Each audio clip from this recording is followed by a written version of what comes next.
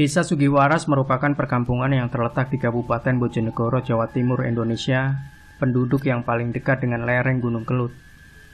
Warga desa ini memiliki warisan kebudayaan tersendiri, yakni mempersembahkan sesaji di kaki anak gunung.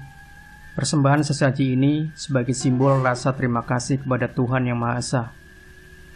Sejak dahulu, setiap tahun warga di sini selalu mempersembahkan sesaji di tepi kawah tapi setelah dari kawah muncul anak gunung, persembahannya sesaji dipindah ke kaki anak gunung.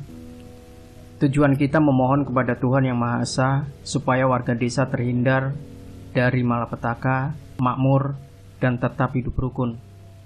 Ungkap Sinto, salah seorang sesepuh desa yang ditemui misteri. Sementara itu, menurut keterangan juru kunci Gunung Kelut, Mbah Ronggo, syarat utama larung sesaji ke kawah itu harus ada cok bakal dan jenang sengkala. Itu wajib. Apa yang terjadi jika syarat ini dilanggar? Menurut salah seorang juru kunci, kala itu larung sesaji kurang lengkap. Alhasil, ritual sesaji yang dilakukan itu nyaris saja membawa bencana. Terlebih lagi, ritual dilakukan di bulan ruah menurut kalender Jawa. Padahal, menurut perhitungan Baronggo, bulan ruah kurang baik untuk larung sesaji lebih bagus lagi kalau dilaksanakan di bulan Suro. Tapi ketika itu Mbah Ronggo hanya diam saja karena ia memang tidak diajak musyawarah oleh pihak panitia. Maka supaya lebih sempurna lagi, Mbah Ronggo terus melaksanakan selamatan lagi di tepi kawah. Tujuannya untuk melengkapi supaya lebih sempurna. Untuk meredam amuk Gunung Gelut ketika itu, tak kurang dari 25 paranormal yang berada di sekitarnya menggelar ritual di sekitar Danau Kawah untuk meminta agar bencana letusan gunung api tidak terjadi. Sebagai salah satu gunung berapi yang masih aktif di Jawa, Gunung Kelut memang masih menyimpan misteri, seperti Merapi yang bertengger di ujung utara Yogyakarta. Kelut di Jawa Timur juga sering kurda, kalau sedang mengamuk juga amat ganas. Gunung Kelut berada sekitar 35 km dari Kediri kalau ditempuh dari Blitar, jaraknya lebih kurang 24 km. Di puncak Kelut terdapat Danau Kawah, volumenya mencapai jutaan meter kubik.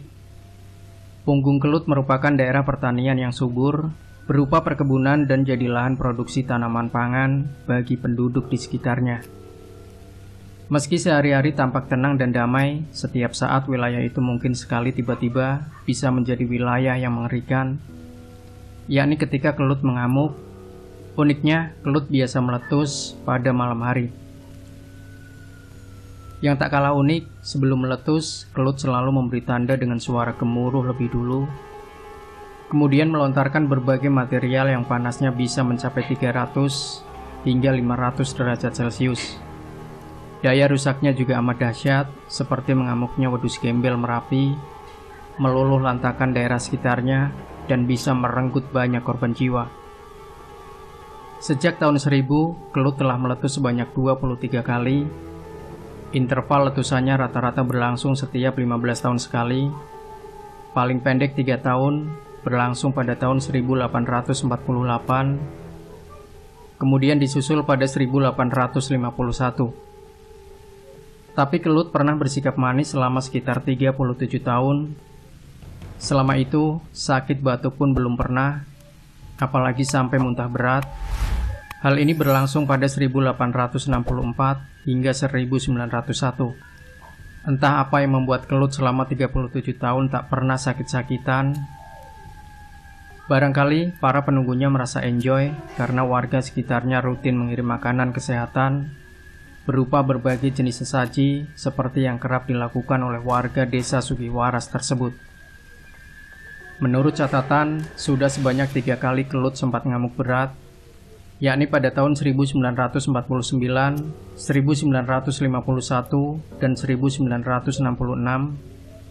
Uniknya, kalau direka-reka, angka tahun meletusnya itu amat menarik, yakni selalu mengiringi peristiwa besar yang terjadi di tanah Jawa. Misalkan saja letusan 1951 seolah menandai pemberontakan Madiun Kemudian ledakan pada 1966 terjadi setahun setelah terjadinya G30 SPKI. Pada tiga ledakan itu, material yang dimuntahkan meluncur ke bawah melalui kali badak, kali ngobo, kali putih, kali semut, dan kali ngoto. Nama Gunung Kelut berasal dari Jarwo Dosok, yakni dari kata ke, kebak, dan lut, ludira. Hal ini berarti bila murka bisa merenggut banyak korban jiwa tak berdosa Menurut kepercayaan penduduk sekitar, kawah gunung ini dijaga sepasang buaya putih yang konon merupakan jelmaan bidadari. Legenda menceritakan, zaman dahulu kala ada dua bidadari sedang mandi di telaga tersebut. Karena terlena, dua bidadari ini melakukan perbuatan seperti yang biasa terjadi pada manusia modern, yakni berbuat intim dengan sesama jenis. Jadi, kedua bidadari itu tergolong penganut lesbian Perbuatan tersebut rupanya diketahui oleh dewa. Karena kesal, sang dewa pun mengutuk kedua bidadari tersebut. Kelakuan kalian mirip buaya. Karena dewa memang penguasa jagat, kata-katanya yang ampuh itu membuat dua bidadari tersebut seketika berubah menjadi dua ekor buaya. Konon, hingga kini mereka menjadi penunggu danau Gunung Kelut. Letusan Kelut pada 1586 menelan korban hingga 10.000 orang meninggal. Pada letusan 19 Mei 1919 memakan korban 5.100 jiwa. Sedang letusan 26 April 1966 menelan korban jiwa 212 meninggal, 74 hilang, dan 89 luka-luka. Menurut sesepuh desa di sekitar gunung ini, para korban itu sedang dikersaki dua bidadari penunggu kawah bila laki-laki diberlakukan sebagai suami dan yang perempuan diangkat sebagai saudara. Warga menengarai bila kelut akan meletus biasanya ada dua sorot sinar terang masuk ke kawah atau banyak burung gagak berterbangan di pedesaan. Ketika misteri berkunjung ke gunung ini beberapa waktu lalu, misteri bertemu dengan seorang pria tua yang tengah duduk bersila dengan komat kamit membaca doa. Tempatnya bersila masih di tepi anak gunung, sepi karena memang tidak termasuk tempat tujuan wisatawan. Pria ini mengaku berasal dari Yogyakarta dan tidak mau menyebutkan namanya.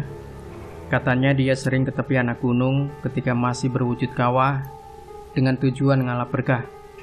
Di samping itu, dia juga mengaku sudah melihat tanda-tanda akan terjadi bencana besar di Jawa Timur Mungkinkah itu berkait dengan letusan Gunung Kelut? Ditanyakan hal ini, pria berwajah bersih itu hanya tersenyum penuh makna. Bagi yang percaya, memang banyak cara untuk ngalap berkah di gunung ini. Setiap tahunan sekali, Bupati Blitar juga rutin ke sana. Hal ini termasuk tradisi yang dilakukan sejak dulu. Sepertinya rasanya kurang enak kalau setiap tahun tidak ke Gunung Kelut.